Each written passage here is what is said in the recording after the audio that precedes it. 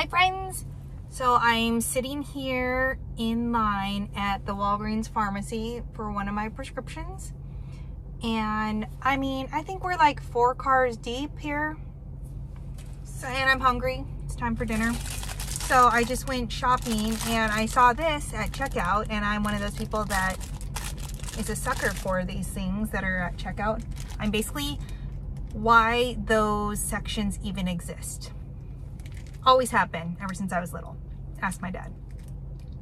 So we have the double decker moon pie uh, made with real sugar, vanilla since 1917. I should know who makes this, I feel. Baked by Chattanooga Bakery. Microwave for an out of this world dessert. Ooh, original recipe, no sugar. Um, Chattanooga Bakery. Wow. Moonpie.com. Here we go. I've never had one of these before. Ooh, mm, smells like it's been in here for a while. I'm not gonna pull it all the way out because obviously this is when um, it will start moving the line. So we have layers. They look like little pancakes with frosting in the middle. It's all very glazed. It smells very artificial and smells like cereal actually. Hmm, I'm intrigued.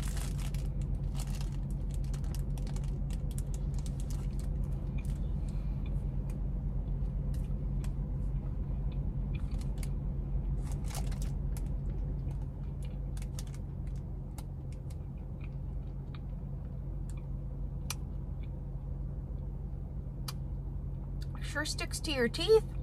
Um, get one of the thicker portions.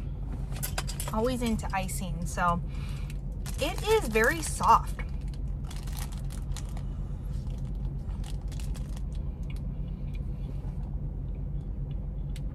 Um, is that marshmallow in between there? Yeah. I think that's marshmallow.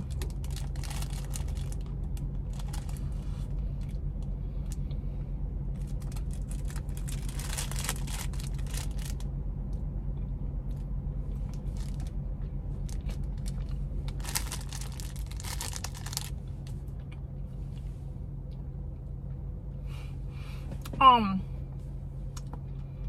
it's like stuck everywhere in my permanent retainer, in my teeth.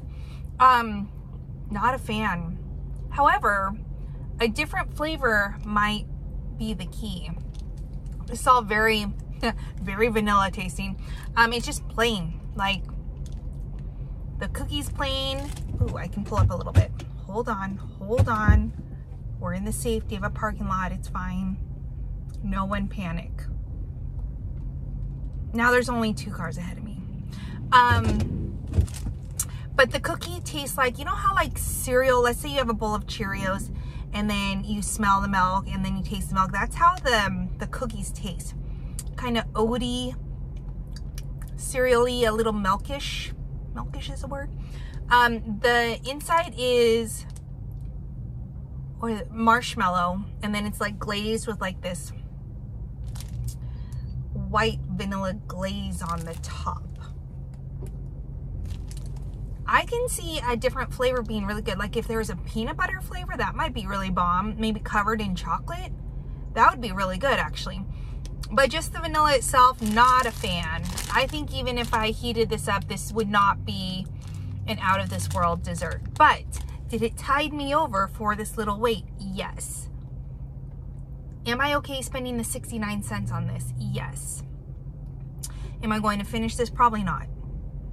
Would I recommend this? Probably not. But I am open to trying other flavors. So there's that. So hope you guys are having a good day.